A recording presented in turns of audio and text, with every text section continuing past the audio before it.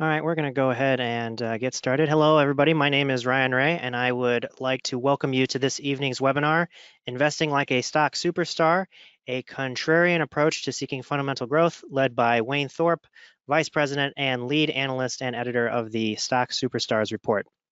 Just wanted to remind all of our webinar viewers that AAII is a nonprofit educational group and not a financial advisor, and thus we are not able to give personal advice. Every investor is different. That's why our goal with each broadcast and article is to educate you to better make your own decisions. A handout of tonight's presentation is available under the Handouts panel of your GoToWebinar control panel, located on the right-hand side of the screen, as well as instructions on how to operate the control panel on your device. If you have questions for our speaker, please submit them using the questions panel of your GoToWebinar control panel. Our moderator tonight will select questions submitted and read them aloud for the benefit of all watching the broadcast. Questions that are not selected for the broadcast will be reviewed and addressed afterwards by, by our analysts.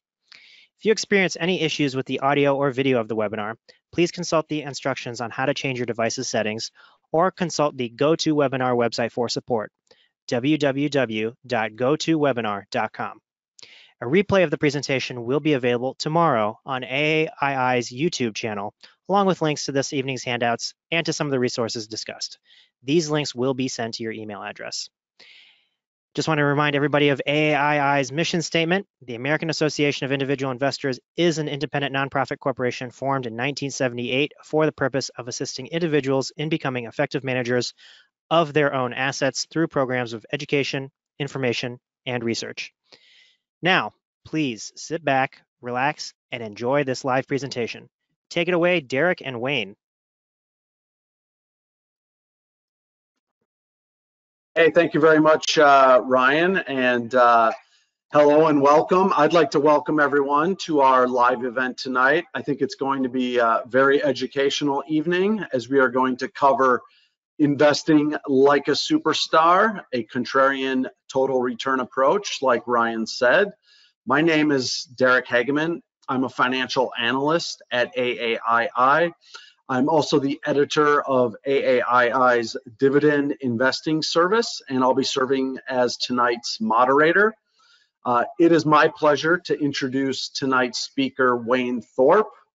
This is, uh, I think it's the third time we've we've teamed up over the past few months as Wayne's prevent, uh, presented investing like a super, stock superstar uh, and value investing with a twist. And as I've mentioned on, on these previous webinars, Wayne certainly wears a lot of different hats at AAII. Among other distinctions, uh, Wayne is the, the lead analyst and editor of the Stock Superstars report. He is also the senior financialist, financial analyst and a vice president at AAII. Welcome, Wayne, and thank you for joining us. Oh, thank you very much, Derek. Pleasure to be here. Yeah. So, hey, before before we get started, I know Wayne, you're a you're a big sports fan, and I just wanted to know how you feel about uh, your your Detroit Tigers uh, looking up at my first place uh, Minnesota Twins to start off the season. And yeah, well, uh, I got to say though, even though it's a condensed season, it's good to see that Detroit's within striking distance of first place as they're playing and playing ball in August. So uh, considering where things could be, uh, I couldn't be happier.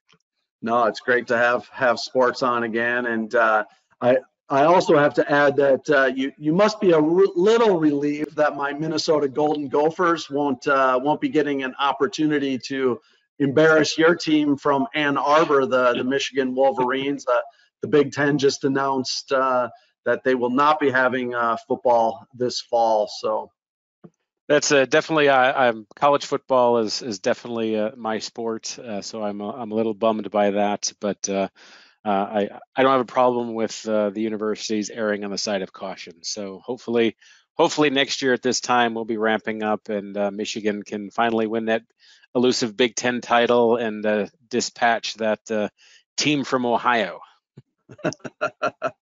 All right. Well, hey. Um, Let's uh, yeah, let's get started. Uh, love to hear what you have to say about uh, investing like a stock superstar. So I'll turn it over to you, Wayne. Well, thank you, Derek. And uh, actually, I forgot to mention earlier, your updated business card should be arriving shortly uh, with to include your new title, Wayne's designated moderator. Uh, thank you once again for uh, keeping me in line tonight. Uh, and thanks also to Ryan for uh, running things behind the scenes. So good evening, everyone, uh, and welcome to the latest installment of AAII's Webinar Wednesday. Uh, my name is Wayne Thorp, and I'm the Senior Financial Analyst at AAII. And I want to thank all of you for joining me, joining me this evening as I continue my Investing Like a Stock Superstar series. Tonight, I'll be talking about a contrarian total return approach that, for me personally, is one of my favorites, not only because of its common sense approach, but also because of its strong long term performance.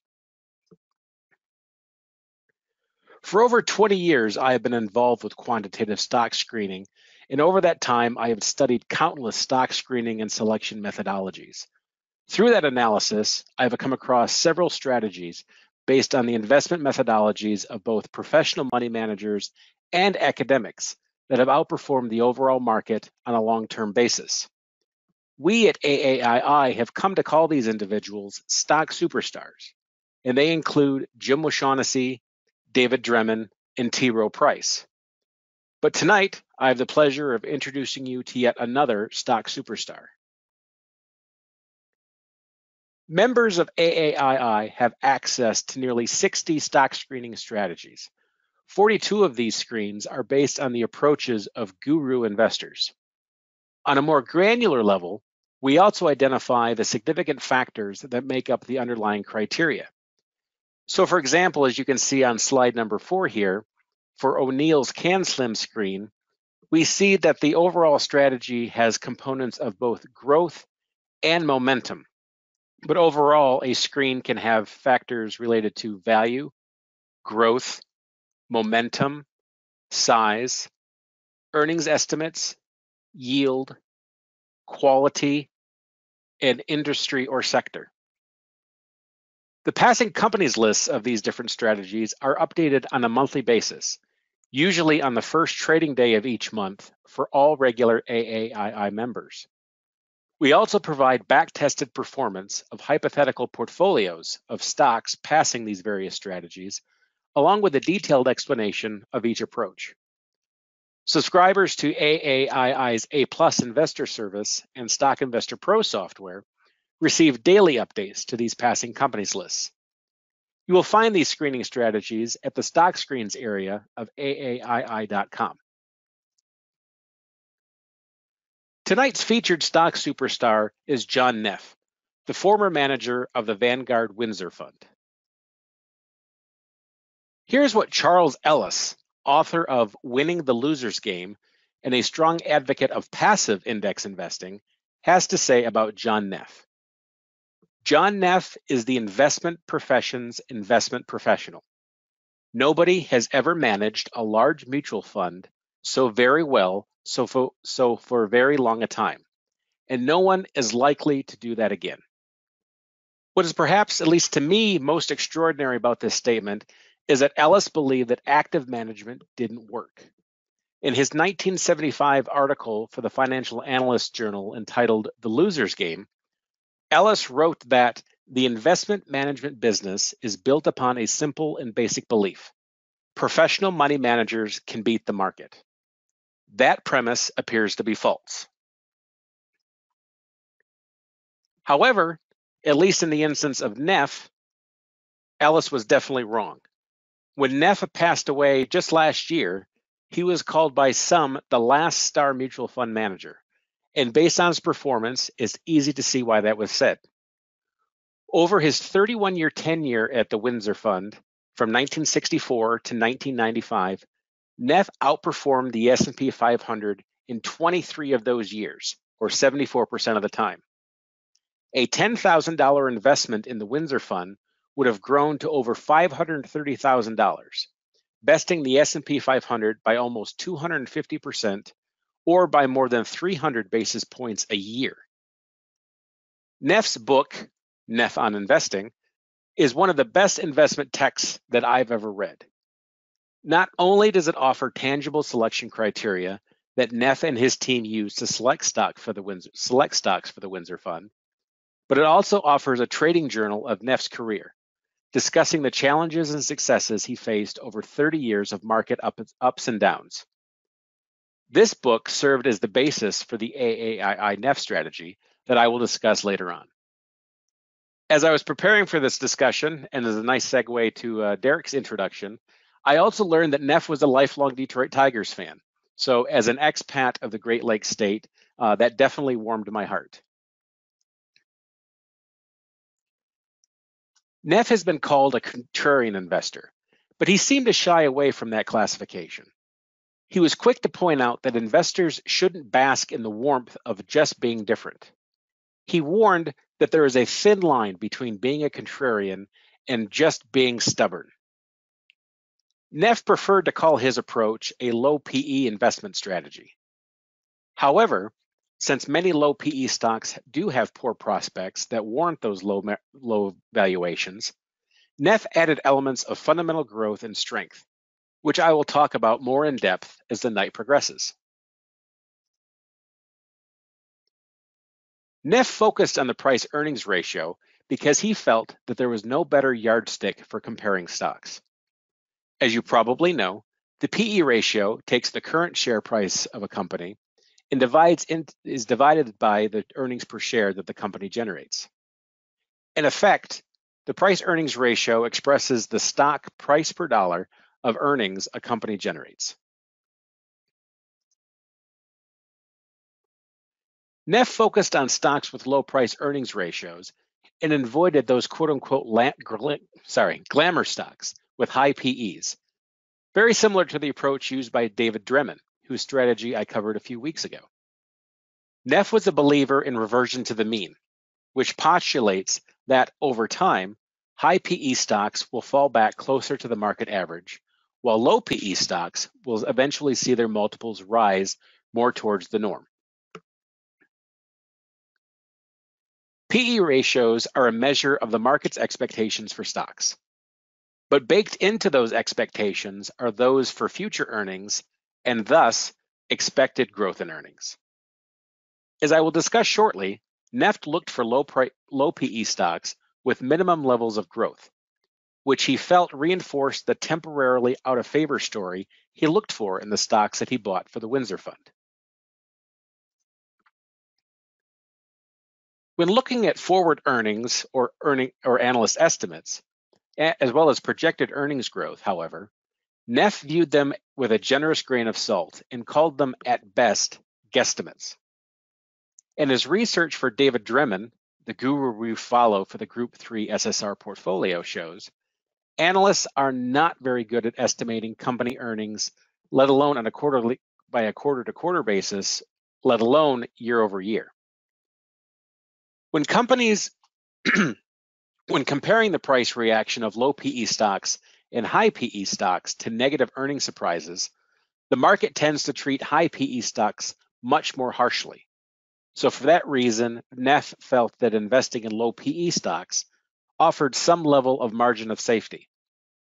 Eventually, high growth rates will moderate to more normal levels, and as these expectations cool, so too usually will a stock price. Neff was an extremely practical and pragmatic man, and he had this to say about the validity of his low PE strategy. Carloads of research statistics demonstrate that low PE investing works, but no evidence I have seen speaks more convincingly than Windsor's track record. During my 31 year tenure, we beat the market 22 times. By the time I retired, each dollar invested in 1964 had returned $56 versus $22 for the S&P 500. So definitely Neff could hang his hat on his performance to say that low PE investing definitely does work. Neff favored low PE stocks showing reasonable growth rates. The reason being that even low positive growth may indicate better prospects than the current valuation reflects. High, pro high growth rates often fuel high PEs, but as growth rates revert to the norm, PEs also tend to fall back to earth. Absent stunning growth rates, low PE stocks can capture the wonders of PE expansion with less risk than skittish growth stocks. To that end, Neff and his team tended to focus on low PE stocks that were growing between 7% and 20% a year. Neff was also a strong advocate of dividend paying stocks. Oftentimes, low PE stocks also carry with them high relative dividend yields. Only time will tell if earnings and growth rates meet expectations. But while, while you wait to see whether or not those expectations are met, you enjoy the dividend, which is all but certain. Because only in extraordinary situations would a company willingly cut or suspend its dividend. When a company raises its dividend, Neff called this a free plus, which is the return you enjoy as a shareholder over and above initial expectations. However, Neff and his team didn't automatically require a company to pay a dividend. However, they in fact would require just higher growth rates to compensate for a lack of yield, whereas they oftentimes looked for growth between 7 and 20% if they found a low PE stock that had promising fundamentals but didn't pay a dividend, they were willing to look considered growth rates maybe of 12% to 15%. When picking stocks for the Windsor Fund, Neff followed a total return strategy. For him, total return described his growth expectations, which he measured as annual growth, earnings growth plus dividend yield. In effect, total return represents what you get when you buy a share of stock. Neff used a total return ratio, which is the ratio of total return to the PE ratio. The PE ratio measures what you pay to secure the total return. Neff and his team look for stocks with a cheapo profile, whereby their total return to PE ratio exceeded the market average by at least two to one. To put it differently, stocks that Neff preferred were trading at discounts up to half the going price for growth. At any given time in Neff's tenure it, it, eh, pardon me, at any given point in time during Neff's tenure at the Windsor Fund, as many as a third of his holdings were in cyclical stocks. While he didn't avoid cyclicals, Neff was aware that it was important to buy them at the proper time. The sweet spot for Neff was at the end of one cycle, when prices were at or near their low point, but before the market recognized that the company was in an upward swing and beginning to report more improved earnings. When evaluating cyclical stocks, Neff looked at its earnings across an entire cycle and, based on that range, estimated a company's normal earnings. He used this estimate of normal earnings to determine an appropriate PE ratio and bought when the current multiple was attractive relative to the projected PE based on normal earnings.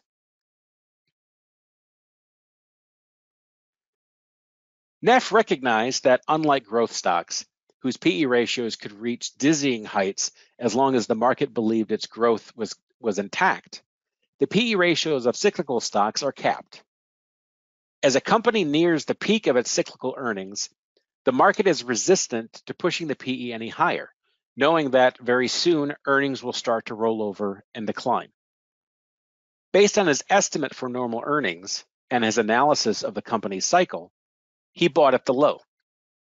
Ultimately, this came approximately six to nine months before the company started showing that it was on an upward swing in earnings. Investing solely in low PE stocks entails significant risks, as companies that have low price earnings multiples do in fact have poor prospects, which warrant a low multiple. For this reason, Neff and his team looked for fundamental support in low PE stocks, which pointed to a company which pointed to companies with prospects that were perhaps better than was indicated by the low PE ratio.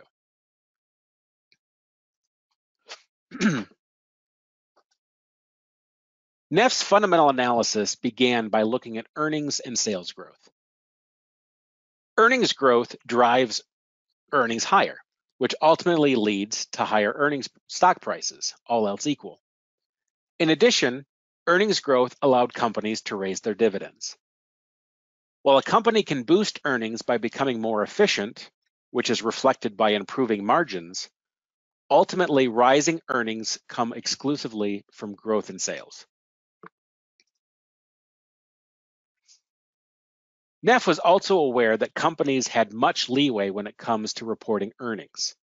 Even though a company might report GAAP earnings, they do have a lot of leeway when it comes to recognition of expenses, revenues, etc., which will have a significant impact on the final earnings number that is reported. This was especially the case during the dot-com era, which was the tail end of Neff's career, when many companies that were not reporting positive earnings were using alternative measures to hide this lack of profitability. For this reason, Neff preferred to look at a company's cash flow, which he measured as retained earnings or net profits not distributed through dividends and other means, plus depreciation expense. Neff looked for companies generating excess cash flow, which could be used for additional dividends, share buybacks, acquisitions, or reinvestment.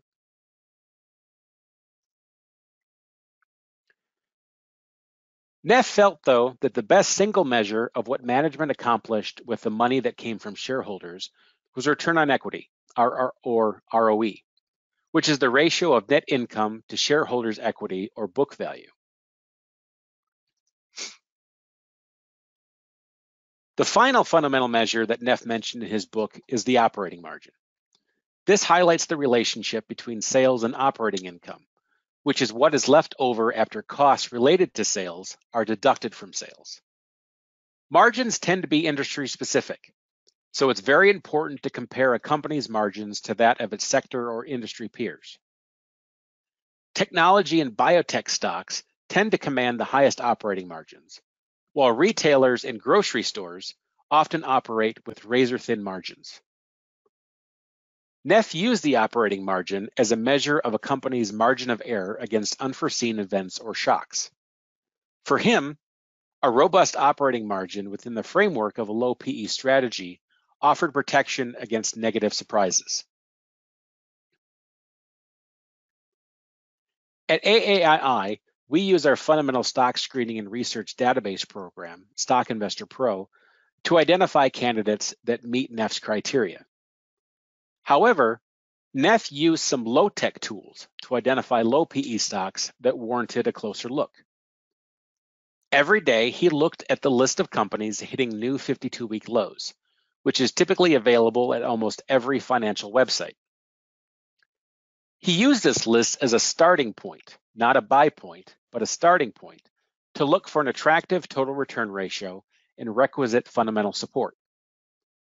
Neff also looked at the daily worst performers list to find companies that may be reporting short-term negative news that might provide an attractive price, even though its long-term prospects are perhaps better than what the PE ratio indicates.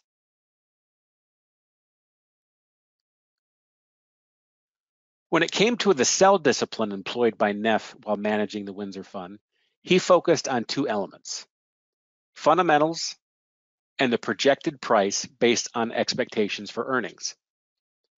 He never had a problem selling when it became apparent that he made a mistake regarding a company's prospects. And to make this judgment, he looked at estimates of earnings and five-year growth rates. He also cautioned about falling in love with a stock. To him, every stock he ever owned was always for sale. He never fell in love with a stock. In his book, we're cautioned that when we start feel like we're cautioned that when we feel like it's time to start bragging about a stock, it's actually probably the perfect time to sell. Based on Neff's book, nearly 20 years ago, AAII developed a screening strategy that attempted to capture the essence of Neff's low PE approach. The cornerstone of the AAII Neff approach is the dividend adjusted PEG ratio which is merely the inverse of Neff's total return ratio. The dividend adjusted PEG ratio is the ratio of trailing PE and the sum of projected earnings growth and dividend yield. The screen looks for companies trading at at least a 40% discount to the median PEG ratio for the entire stock universe. This means that a company must be tracked by an analyst, which eliminates more than one third of the stock universe. However, implicit in this is there not a requirement that a company pay a dividend. The AAII-Neff approach also requires average annual sales growth over the last five years of between 7% and 20%, and projected average annual growth in earnings over the next three to five years of also 7% to 20%. Looking at the operating margin of a company, since they are so industry specific, the AAII-Neff screen requires that a company's margin be at least as high as its industry norm for the trailing 12 months and for the last fiscal year. Lastly, companies passing the AAII-Neff screen must have positive free cash flow, which for in Stock Investor Pro is measured by cash from operations less dividend payments and capital expenditures over the last 12 months as well as the last fiscal year. As far as a guideline for when to sell, we look at a company's dividend adjusted PEG ratio and see it as being fully valued when it exceeds twice the median value for the entire stock universe.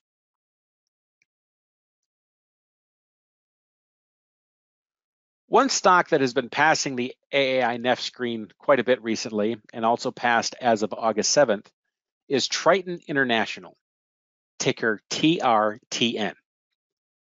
The company is classified as being in the business support services industry, and it has a market capitalization of $2.2 billion.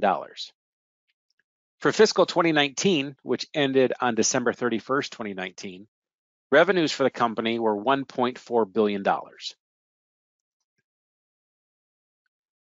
Triton is the largest intermodal container leasing company in the world and is the result of a mega merger between TAL International and Triton Container in 2016.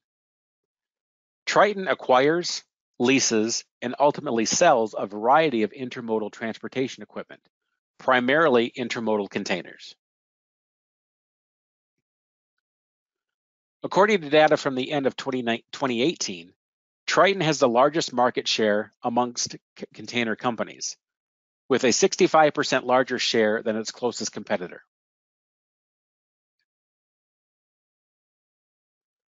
Triton has a solid position as a preferred supplier of containers amongst the world's largest carriers.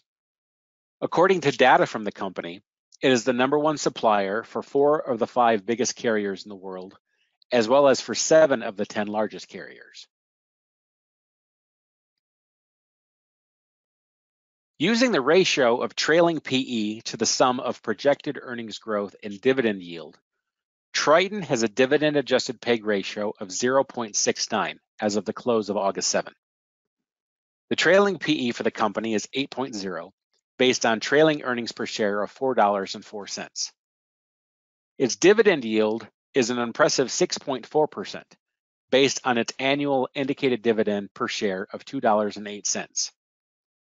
It's worth noting that the company did cut its dividend in 2016 following the merger, and they did this to help pay down the debt that it took on to fund the merger and it last raised the dividend by 15.6% in May of 2018. Currently, one analyst is projecting average annual growth in earnings over the next three to five years of 10%. Looking at the universe of stocks trading on US exchanges, the trailing PE is 19.5. The projected earnings growth is 7.5% over the next three to five years, and the dividend yield is 3.0%. Triton's dividend adjusted PEG ratio of 0.49 is roughly a quarter that of the median PEG ratio for the entire stock universe and is only 15% of that of the median PEG for the constituents of the S&P 500. So based on these valuations, we can see that Triton definitely does meet that cheapo profile that Neff was looking for in the stocks that he invested in in the Windsor Fund. The key component of the Neff approach is low PE, as I've stated multiple times. And Triton has a PE ratio of 8.0, based on its price of $32.28 as of the close on August 7, and trailing earnings of $4.04. This ranks in the bottom 13% of all US listed stocks. The typical stock in the business support services industry, as classified by Thomson Reuters business classification, has a PE of 24.2. So Triton has an attractive valuation relative to the stock universe, where the median PE is 19.5 and the average is 40.9, and its industry.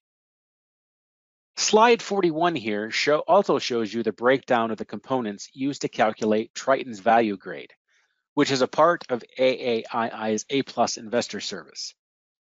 While we don't use the value grade in selecting stocks for the Neff approach, it does give you a broader picture of Triton's overall valuation.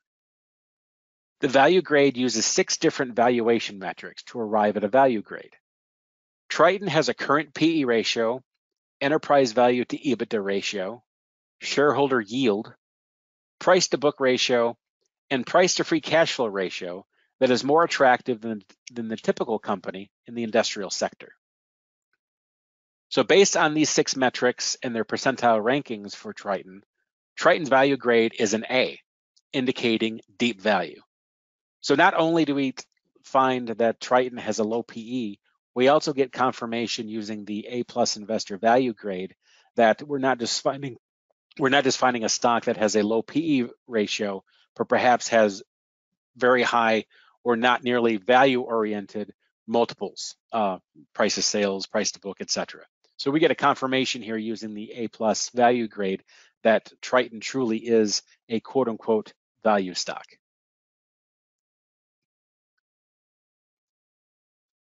Over the last five years, Triton has seen its revenues grow by an average of 15.5, 15.1% annually, which bests both the sector median of 4.6% and the industry median of 6.8%.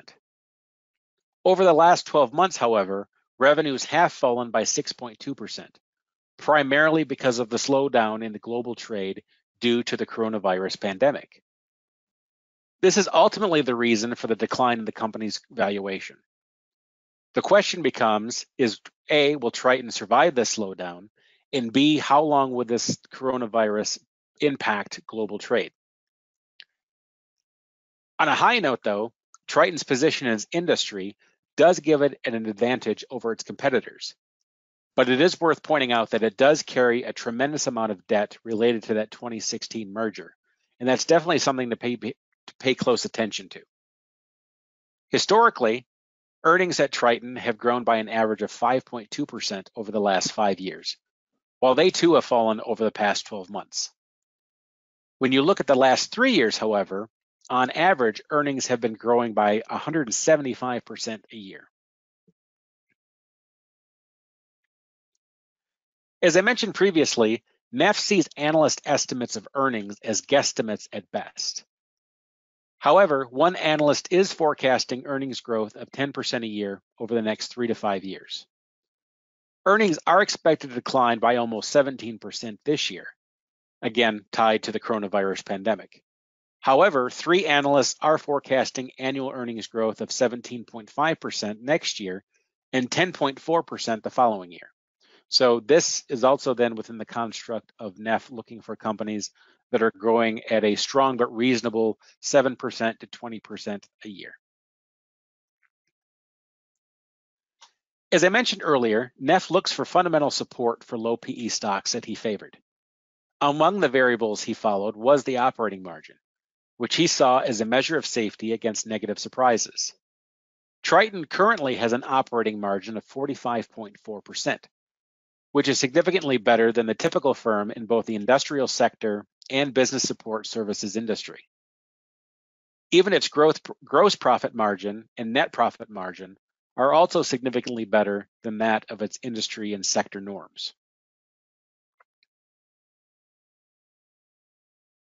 This concludes my discussion of the Neff contrarian total return approach. In the time that I have left, I'd like to touch on another way in which we're using Neff's low PE approach at AAII. Specifically, we're using it to manage a 10 stock portfolio within the Stock Superstars report, of which I'm the lead analyst and editor. So if you are interested in what I've been talking about this evening, it's worth noting that AAII has a portfolio that I manage using Neff's contrarian approach. This is one of four portfolios that comprise the overall Stock Superstars report portfolio, with each portfolio using buy and sell strategies of some of Wall Street's most successful stock superstars. Each of the four SSR subportfolios is made up of 10 stocks. For the Neff portfolio, we isolate the companies in our 6,100 stock universe using the screen that I've just outlined. From this list, I filter out those stocks that present liquidity concerns to arrive at an investable universe of stocks, which is usually about 20 or so at any given point in time.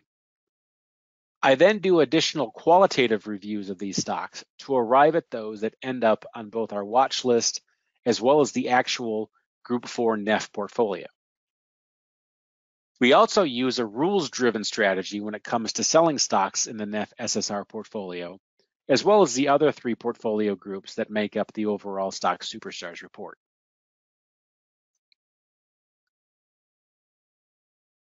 While the actual SSR Neff portfolio has 10 stocks, I also maintain a watch list from which I choose replacement stocks when I remove a stock using our quantitative sell rules. This makes my life easier when selecting new stocks, but it also offers subscribers an additional collection of investment ideas if they choose to look beyond the actual 10 stock portfolio. So slide 46 here shows a sampling of the companies that are currently on the Neff watch list and it, you will see that that includes Triton International.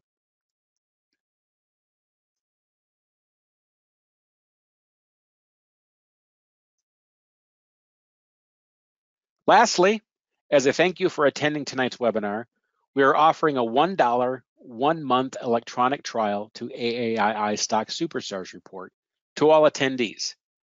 With this trial, you'll have an unlimited access to the 40 stocks that make up the overall SSR portfolio, along with a weekly email alerts related to the portfolio and commentary written by yours truly, as well as one issue of the monthly SSR newsletter. You can visit the URL here on slide number 48 to access this offer.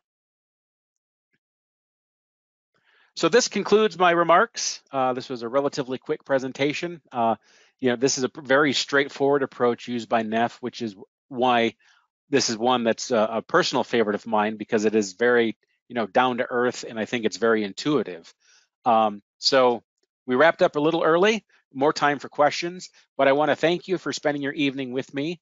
Uh, but before I do turn it over to Derek and start taking questions, uh, I'd also like to remind attendees tonight you can reach me via email at wayne at aaii.com with any questions, comments, or criticisms. But now, Derek, I'm ready to take some questions.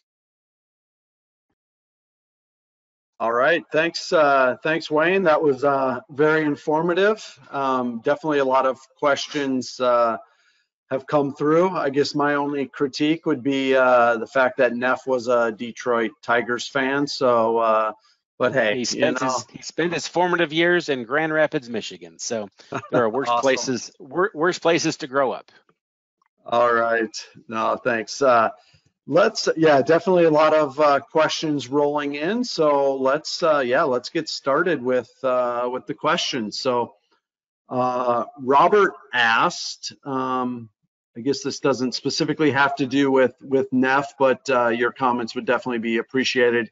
Robert asked, can you comment on the current market rotation that is occurring between growth and value and how to play it?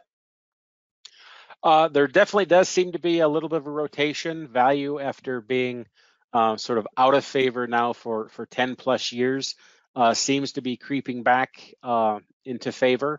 Uh, as far as rotation goes, um, even I mean, Neff pointed out in his book that even at the uh, the tail end of the dot com era, when growth stocks were just absolutely going bonkers, uh, and everyone was saying that that value investing was dead, um, using the, the, deep valuation, uh, the the attractive total return ratio that Neff used, he was still finding stocks that meet the criteria, met the criteria. So he was still make, able to make these investments. The overall pool might have contracted significantly. But in almost any market environment, you're still going to find deep discount stocks that probably the market has overreacted to in some fashion, whether some you know temporary glitch in earnings uh, or something like that. So there always, almost always, will be value to be had. Uh, it's just you might have to look a little bit harder, or your overall universe uh, might uh, contract. But as far as any rotation goes, you know, in the context of the stock superstars report, uh, the the Group One uh, O'Neill uh, strategy, which is a a growth, very strong growth strategy, uh, has been our top performer uh, year to date. and actually, the Neff screen, the Group Four portfolio for year to date, is actually one of our actually is the worst performer out of the four different groups. But over the last week, we've started to see that value has really started to make a comeback. The value, the Neff portfolio uh, has been outperforming the other four groups. Uh, so as far as how the stock superstars report, you know, plays that rotation, that's why we have four different strategies. And that's why we have, for example, group one, which is heavily steeped in growth uh, and looking for stocks that are exhibiting very strong growth, that are doing some more technical breakouts when it comes to price. And then you have um, Neff, which is a you know a deep value but also then looking for uh, at reasonable growth rates. Uh, you have group three, the O'Shaughnessy strategy, which is a factor-based, uh, based on earnings quality, valuation, and financial strength. Uh, and then you have the Dreman approach, which is also a deep value, but looking for deep value stocks that are exhibiting uh, positive earnings surprises uh, or positive estimate revisions, which is more of a momentum play on value. So we have four strategies that do have uh, different elements to them. So it will allow us to capture, uh, you know, one might fall out of favor for an extended period of time, but uh, if one is, uh, they don't they don't operate in lockstep. So we hope to that even if one or two of the strategies might be underperforming, uh, the other two will be hopefully capturing whatever wave is in favor at that time. So that's how the stock superstars report. Uh, it really we don't play any type of sector rotation. It's a matter of using four sound strategies that might be capturing elements that may or may not be in favor at any one point in time. Uh, it's great. I'm glad you uh, addressed the the different strategies that make up the the portfolio because we we have received a few questions of that. So thanks for thanks for hitting on the uh, the highlight of each of the the four strategies. So I think that uh, helps out a lot of a lot of people watching tonight's uh, webinar. Um, let's get to another question. Uh, Hugh asked uh, if we are taught not to try and time the market. Think we would agree with that. Then how did Neff figure out when to buy cyclical stocks? Well, he wasn't timing the market because he wasn't making the the timing element was, you know, the price had deteriorated to a point where it was making it, it attractive relative to that normal earnings uh, that he had calculated. Um, so the key is again, you look at, you know, he didn't. The his book was very transparent as far as uh, the different elements that he used when selecting stocks. There was this section talking about uh, cyclical stocks. I was a little disappointed that it didn't go more in depth into the methodology that he that he looked at. But what I assume, you know, and this is what we do, uh, you know, we're looking at stocks even for dividend investing that are cyclical in nature. We'll look at earnings over several years and try to gauge uh, what a, a complete operating cycle is for a company. So based on that cycle, there's going to be a point where earnings are at a peak and where earnings are at a trough and whether then you average earnings over that period of time, if you take an average of the high earnings and the low earnings over that point in time, you then come up with an earnings number, and that gives you a PE ratio that is sort of the, the normal PE for whatever that operating cycle is. And then based on that normal PE, you look at where the PE is now. And if the PE currently is trading at a significant enough discount to make it worthwhile offers a margin of safety and everything like that, then that is when it would be a good time to buy. Um, you know, Neff said that generally speaking, uh, the the PE ratio was most attractive um, in for his from his standpoint about six to nine months before the, the companies started to report uh, improving earnings. Uh, so that was the the quote unquote timing of it, but it's not really based on price. Uh, it's based on the valuation based on those normal earnings that he had uh, calculated. Hmm. All right. Hey, I know you've uh, you've mentioned uh, the the Neff book a, a, few times. Can you just remind us the? I think you just read it recently, probably preparing for the the webinar. But could you just give people the the name of the book again? And this will uh, for all the participants. Uh, this will be in the show notes. There there will be show notes sent out. Uh, uh, I think it's tomorrow with just any references to outside sources. So it looks John like Neff on investing. Can you, can we, is that showing up on frame? Yep, yep, we can see that. So uh, and, John and Neff everyone out there, investing. You know, the book lovers out there won't like the fact of all my dog-eared pages, but uh, actually, yes, as I was going through all of these things, I've actually read about uh, six or seven investment texts in just the last uh, eight or nine weeks. So my brain is full of of investment ideas these days. That's great. Uh, all right, thanks for sharing that uh, that book with with everyone. If they want to read uh, read the methodology for themselves, um, I, I, was just curious. Uh, it, it, came up. You had on one of your slides, uh, you know, that he would start to look at a list of companies when they were hitting 52 week lows. Have you have you run a list like this? Do you? I'm just curious And you know, just today again, I think that the S&P touched uh, a record high. Uh, do you know how many companies are, are hitting their 52 week lows at this point?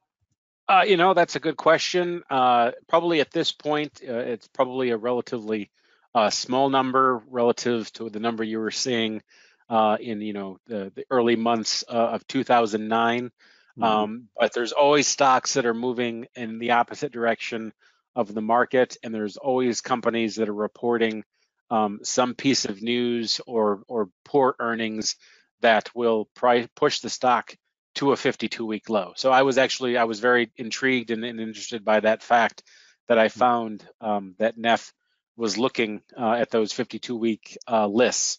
Uh, so you know he you know he was it was just fascinating to me uh, you know what a successful money manager he was and just how you know everything that he did the way he even when it came down to his book how just things were very plain spoken um, you know very common sense and very intuitive which again is why uh, i've been drawn to the Neff strategy uh, basically almost since day one uh, at the association yeah, just uh, just because something's complex does not necessarily uh, mean it's better. Oftentimes, it is a, a simple, straightforward strategy that ha has worked uh, over the you know the test of time. Actually, in his book, you know, Neff said one of the one of the one of the the credos he lived by was keep it keep it simple, um, and uh, and it, and it, obviously it worked for him. yeah, yeah, definitely. I would say his track record. What uh, on one of your slides he he mentioned uh, for every dollar uh, invested, he he he uh, it returned 50 plus dollars. That's that's incredible. $56 versus 56. 22 for the S&P 500. I mean, to over a 31 31 year period to outperform the S&P 500 on average of 300 basis points a year. That is just that's extraordinary. Incredible, incredible. Uh, uh, all right, let's get to another question. Uh, Brent Brent asked, how long did Neff usually assume a company would take to rise to the mean and appreciate to a fair value after selecting uh, or purchasing it? Oh, you know, actually, that's a good question. Uh, and having reread the book, I don't recall there ever being uh, uh mention of that. Uh, some investors, you know, for examine, uh, for example, Dreman, whom I talked about a few weeks ago, had a two to three year time horizon over which time after two or three years, three years if it was more a cyclical type firm, if after two or three years the stock had underperformed the overall market, um, he suggested uh, jettisoning it and moving on to another low PE uh, uh, now to favor stock. I don't recall there being any mention of that. Um, he basically uh, was uh, and his turnover, I think, was very low. And actually, if you look at the turnover in the Group Four strategy, the Group Four strategy probably has the lowest turnover of any of the four uh, in the SSR portfolio. Uh, it's basically, you know, there's the two things he looks at when it came to sell was, you know, do we see a significant deterioration in forecasted earnings and a serious deterioration in long-term growth rates? And as long as those two things don't happen, um, he he was willing to hold on to it. Um, he was actually, you know, I've read this many times. Uh, he often was early to the game. Uh, he would actually uh, buy in, perhaps maybe you know several months, uh, and see the stock price continue to decline. But then he would hold it for for many many years, and that's when he would reap reap that return. So he said he was oftentimes very early getting in, but had um, the uh, the uh, intestinal fortitude to to hold it even though the stock continued to decline. But then he was also very willing to get out early. Uh, he wasn't looking to milk, you know, those last few percentage points out. Uh, he was much more willing to get out before the stock price started to roll over.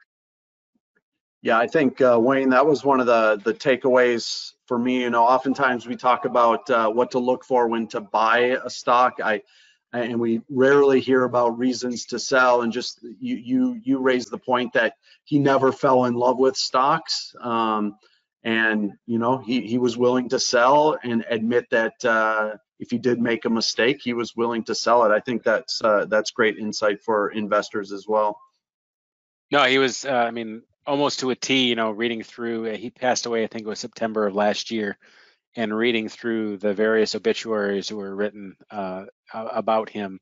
And I mean, almost to a T, they were all saying, you know, he, he shunned the spotlight. He was very unassuming. He was not egotistical. Uh, hmm. and that, you know, that came through in his investment style as well.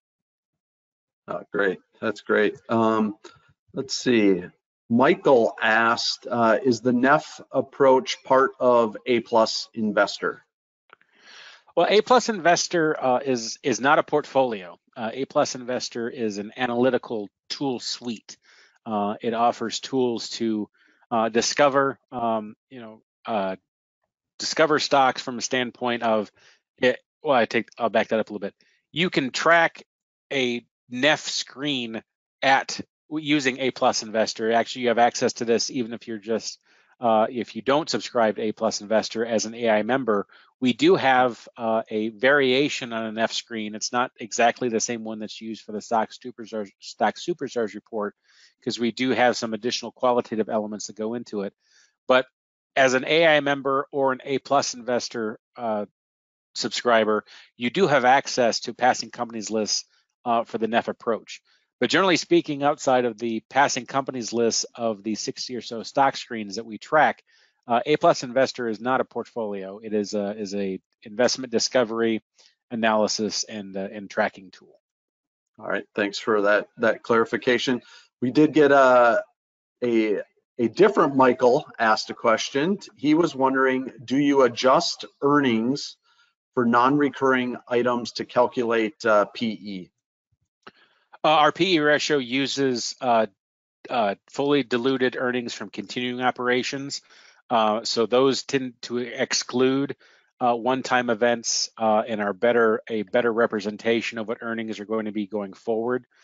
so the type of earnings that we do use do tend to exclude those extraordinary items. Okay.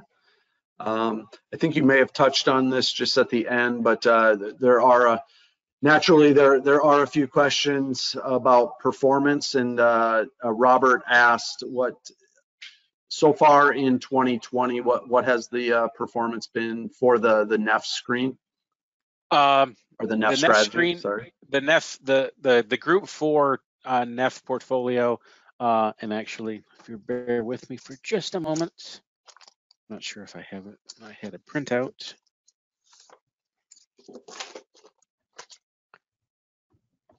Ah, here we go. Uh, so this is through actually uh, Friday's close. Uh, year to date, the uh, Group 4 Neff strategy was down 15.2% uh, uh, versus the IYY, which is the Dow Jones US ETF, which is our bogey for the SSR portfolio, was up 3.4%. Um, but we've actually seen some, um, it's actually up from I think it was down more than 20% back a week or two ago. Uh, generally speaking, uh, this has not been a good year for value. Uh, so, uh, for example, I was referring to earlier the uh, Group One uh, O'Neill strategy, which is more of a strong growth, looking for price breakouts at a technical level. through Friday's close, the O'Neill approach was up 12.4% of the years for the year. So this is definitely a year where growth has been significantly outperforming value. Um, but you know, as a long-term investor, uh, you can you can look at different you know six month, one year, two year, three year. Uh, you know, I, I prefer I, I like looking at long term, uh, and it's not because the long term numbers uh, are in, are in our favor. But if you look at since inception and uh, the Group One O'Neill and the Group Four Neff strategies have actually been part of the SSR portfolio uh, since the its inception date. Um, and since inception, uh, the Group 4 portfolio has an average annualized return uh, of 10.3% uh, versus the IYY of 8.0%. Uh, so we're outperforming on an annualized basis dating back to 2002. We're outperforming our benchmark by over 200 basis points a year on the on the Group 4 strategy. Oh, that's great. And that uh, yeah, Bill. Bill had a question, so you addressed it. He was wondering uh, if you could provide some of the historical returns for the the Neff strategy. So I think you you covered that for for Bill. Um, let's see.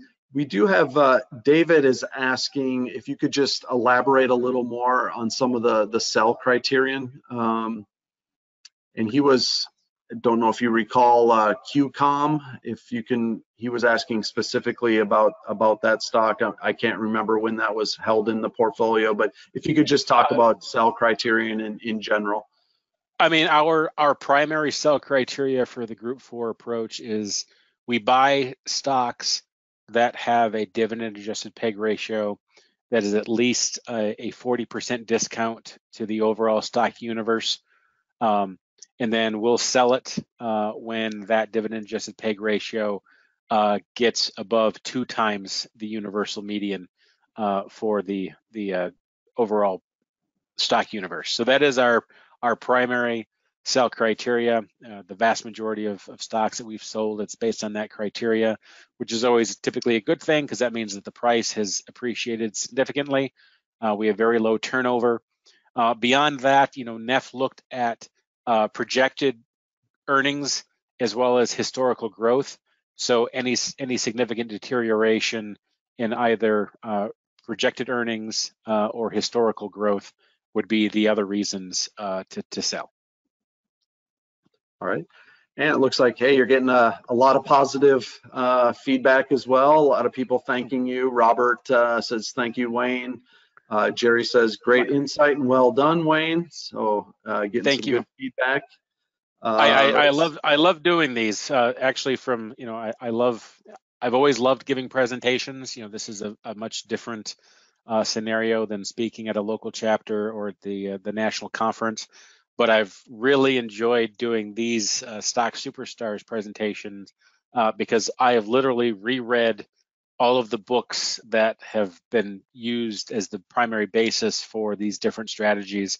So it gives me uh, a fresh insights on the strategies, and it just you know reinforces a lot of the the types of investing uh, approaches that I like the most. There's been a lot of positive reinforcement of those as well. So I've learned I've learned probably as much as what hopefully a lot of people are walking away from these presentations as well. So this has been a, a tremendous learning opportunity for me as well.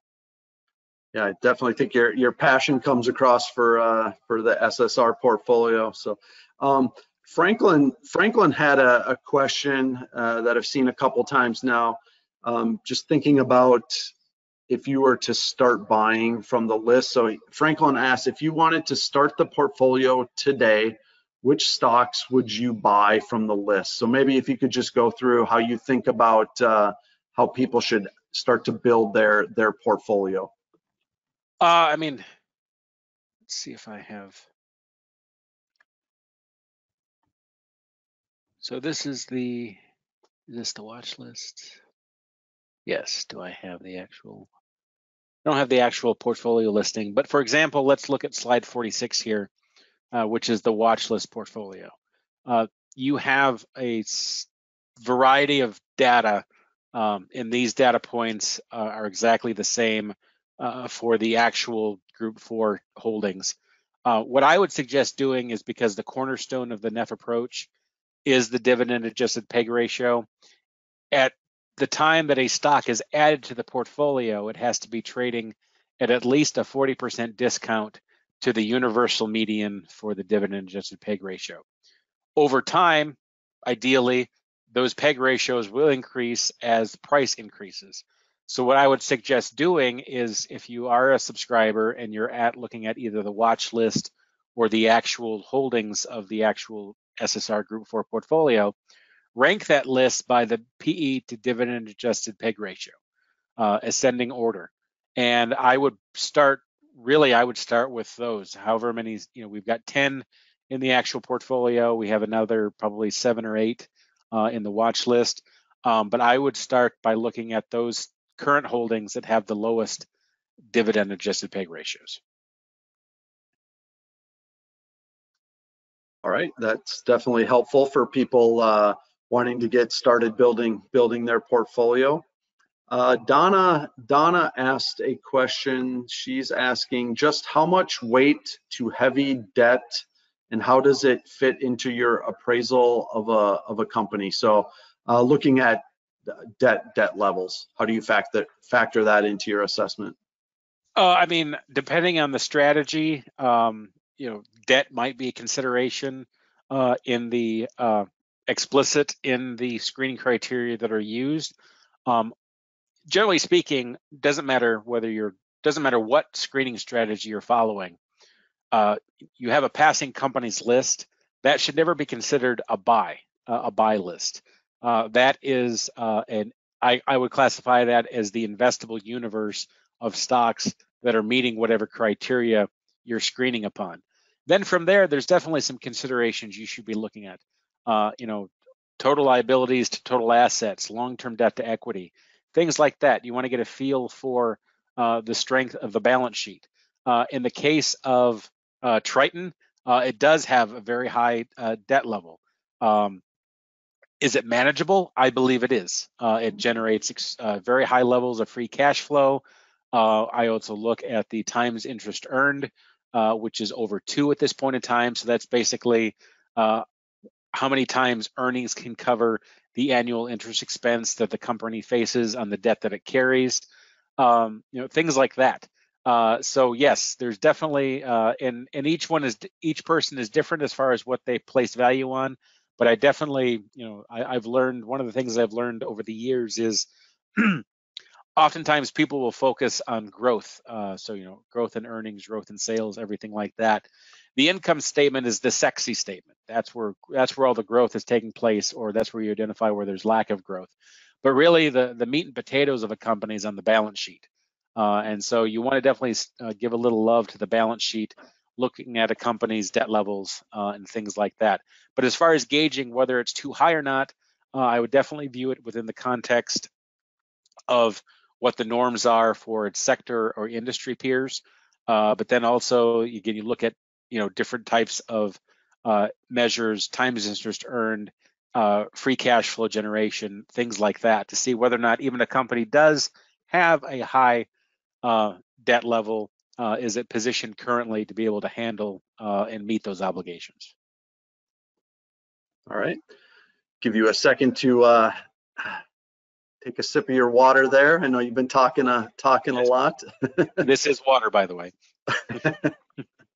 uh, let's see. Let's let's. Um, Mark has a question. When the market cycles significantly evolve, do you recommend sticking to the same guru portfolio, or do you recommend an opportunistic approach, changing portfolio from time to time? Um, well, looking at uh, looking at the uh, stock superstars portfolio. So we launched this portfolio on January 1st, 2002. Half of the portfolio, as far as the gurus that are used, uh, Group One and Group Four have been used since day one. Um, so half the portfolio we've stuck with through good times and bad times. Uh, both the Group One, um, let's see, the Group One strategy has been outperforming uh, through Friday's close. The annualized since inception return for the Group One portfolio is 10.9%. So that's outperforming the market by 260 basis points a year. Uh, sorry, my kitty is coming to say hello. Um, uh, our Group 2 Dreman strategy, that was implemented in September of 2006. So that has been in the portfolio for almost 14 years. Uh, over that time, it's outperformed the benchmark by over uh, 150 basis points a year. Uh, we've just launched a new approach uh, in Group 3, the O'Shaughnessy multi-factor approach. Uh, we started that at the beginning of May. Um, a, we think uh, the Group 3 port since inception, the Group 3 has, for whatever reason, always been the laggard of the overall portfolio. It doesn't matter what strategy we've used. I don't know. It's a you know just a it's a prime number. I don't know what it is, but Group Three has always lagged. Um, you know, so a that was one of the reasons is the long-term performance had been lacking. Um, I think we had been using the Group Three strategy that we jettisoned uh, for well over a decade, uh, but we also then wanted to get a, a guru-oriented strategy, which was another reason why uh, we we switched over to the uh, O'Shaughnessy. So we're not trying to time the market here. We believe that you know there will be periods of time, some in some instances, extended periods of time where a given strategy might underperform the market. Um, but I personally uh, don't think that I'm smart enough to be able to time the market to say, uh, especially when it comes to individual strategies, that this is going to be a period that's going to outperform. This is going to be a period where it underperforms. Uh, so you know, you definitely probably would want to use uh, an interspring uh, a, diver, a, diverse collection of strategies. Um, but um, as far as when to actually shift out, that's something that you I would do very very carefully. Uh, and ultimately, it comes down to if you just have lost confidence in the overall strategy itself, not because it is is significantly underperformed per, per se, uh, but is that point to some fundamental flaw in the strategy that itself that the market has changed to a point where it's no longer capturing uh, the the types of stocks that might have led you to to use that successful stocks that might have led you initially to select that particular guru. All right, I'm just uh, doing a, a, quick time check. I think uh, we do have a lot of still a lot of questions, but um, I think just given given the time, maybe we can take three more. Wayne, does that uh, work for you? Uh, sure, and yeah, uh, and uh, I I do review these questions, uh, and if I see any stock any questions, uh, I believe that we have the email addresses of people that uh, that submit these questions, so I can be able to reach out. But you're also, if you are a Stock Superstars Report um, subscriber, I do use these questions to seed uh, my weekly commentary uh, as well. So if you are an SSR subscriber uh, and I haven't answered your question, uh, or you know, stay tuned to future commentaries because inevitably I'll probably be answering some of these questions uh, in the weekly alerts. Yeah, that's a that's a great point, and I would I would second that as well. I think that's one thing that makes AAII unique is just obviously our education educationally focused uh, focused uh, mission and vision. Um, and I, I, often imagine, you know, if you if you were a Vanguard investor during Neff's time, if you actually would be able to have asked Neff a question. So I think it's unique that uh, subscribers get direct access to to you, Wayne, and like you said, and and uh, for myself as well for for dividend investing a lot of the commentary, a lot of the the monthly reports comes from questions from subscribers, and it's a it's a great interaction. Uh, let's see. So Edward has a question. Are there any AAII ETFs that are based on super stock strategies or any other AAII strategies? Uh, well, as a nonprofit, AAII is not able to manage money. So, as far as AAII being able to launch an ETF or a mutual fund uh, based on, you know, the shadow stock portfolio, the dividend investing portfolio, the stock supercharged portfolio, Uh, we are prohibited from doing that because of our nonprofit status. Uh, as far as uh, strategies uh, based on the Neff approach, you know, the Vanguard Windsor Fund uh, still exists. to be brutally honest, I couldn't tell you whether or not they've they've shifted away from from Neff's approach. Um, but as far as any other approaches that I know that any ETFs that might try to mimic this, I am not aware of any. Okay. Uh, oh, here's a good question from from Neil to put you in the uh, the hot seat, Wayne. Let's see. Uh, I would love to hear your answer on this as well. Uh, so Neil asks, uh, in the high flying tech era, some have said that the PE ratio and some others are not nearly as meaningful as they once were. Do you agree or what do you say to them? Uh, Actually, I wouldn't say that the PE ratio loses uh, its significance because at the end of the day, we are still using uh, GAAP earnings. Uh, what you'll find during you know the height of the dot com era and everything like that, companies were moving up higher up the income statement to arrive at some measure of earnings.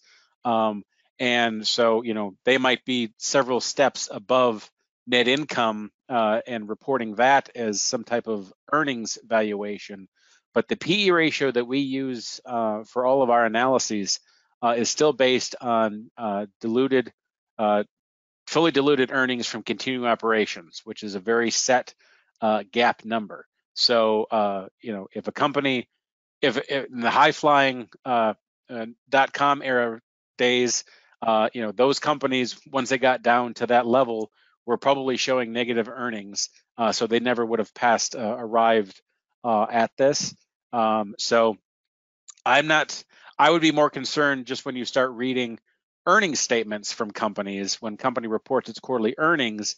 Uh, and that was starting to, to creep up even just a few years ago. And I think the SEC slammed the door on that a little bit. Is you started to see more and more companies reporting uh, non-GAAP numbers uh, for profitability. Uh, and that's where I'd be more concerned is uh, if if you're basing your your investment decisions on information that is a, a variation of a profitability ratio or measurement. Uh, but PE itself uh, is is you know basically static. Um, you know there is some uh, you know companies do have leeway as I mentioned as far as recognition of revenues, expenses, things like that. Um, so PE is not a perfect number, but I think as a whole it is. And but then also, you know, adding in the the elements of fundamental growth and fundamental support that Neff used uh, are, are, reinforcing elements that uh, these might be low PE stocks, but chances are based on these additional fundamental criteria uh, that these might be more uh, short-term hiccups that have pushed the uh, PE ratio so low. All right. I think we'll just take take one more and we'll end it on uh, your comment about uh, Neff talking about analysts and their their guesstimates. so we have a question. Uh, uh, how can let's see what is the question sorry about that just lost my, um, how can how can one analyst have a buy rating on a stock while another analyst covering the same company can have a sell uh, rating on a stock. Can you just uh, love to hear your thoughts on that, Wayne? Uh, well, I mean, it all boils down to if you've if you've never listened to an analyst call or if you've never read a transcript of a company earnings call, you will hear analysts asking such granular micro spot hyper focused questions about one specific element of a company. Um, and what these analysts are doing is they are trying to find, you know, just that one little nugget, that little piece of data that they're plugging into uh, what are uh, models that are definitely not simple. Um, and so you've got all of these analysts, they're taking all of this data, they're trying to get clarification from management, and they're plugging all of this data into a model that's going to be generating, you know, whatever that algorithm is, that's going to spit out that, you know, buy, sell, or hold uh, rating. Uh, these models will differ from analyst to analyst, from from analyst from investment firm to investment firm. Um, so, and that's why uh, you know me personally, um, you know, so a you've got these models. They all have these different models, so that's why you can get such disparate uh, ratings. Is the models that they're using uh, are can be uh, significantly different. But I think more importantly, uh, and I'm going to sort of shift the the answer, uh, the question a little bit is how useful are analyst ratings? Hmm. I think that's the more important question. Um, you know, if you have a brokerage account, chances are you can pull up uh, investment reports, analyst reports from, you know, CFRA, um, Morningstar, uh, a whole variety of, of, companies. They have their different uh, rating systems when I am looking at a stock, I could really care less that Morningstar has rated it as a five star or CFRA has rated it as a as a two star. What I do when I read through these things is I'm looking at the elements of the company that the analyst is highlighting. I use these reports to allow to help me focus on to guide my analysis that you know okay these particular analysts are viewing these developments in the company as being important. So when I'm watching the company going forward, then I know, okay, these are definitely specific elements of the company that I should be paying attention to. So I think the more important thing is, is not how can one analyst have a sell and one have a buy. It's what does analyst A looking at and deem most important that might go into arriving at their buy, sell, or hold rating versus analyst B and what are they highlighting in their research report? What elements are they focusing on that might be driving that buy, sell, or hold?